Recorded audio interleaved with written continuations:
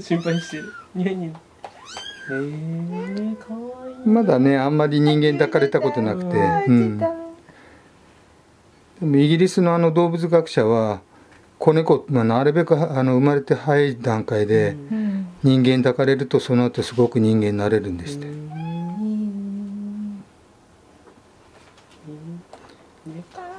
さつきちゃん。お顔見してこっちがちょっと仰向けになってね仰向けになってよいしょはーい。はーい。生後16日目の16日めんくんの男の子さつきくんです。そうださつきちゃんって言うと女の子になっちゃう はーい